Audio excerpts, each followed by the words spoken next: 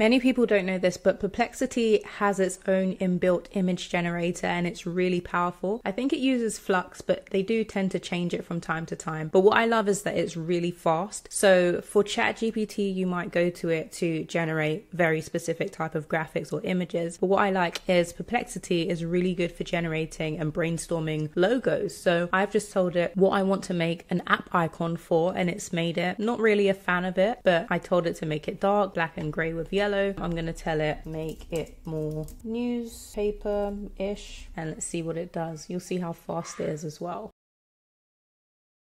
So it writes the prompt, it's gone, but it wrote the prompt, it had the steps, and then it's come up with that, which I think is quite cool. So I'm going to go with that. Now, of course, you could just leave it as it is, but I like to put it into Canva so I can remove the background, make it into a PNG just so I've got that transparency in the back. I can also add on any effects that I want, give it a bit of a glow or a drop shadow. And then the most important thing is exporting it as a PNG with a transparent background. And this is what it looks like as a desktop icon.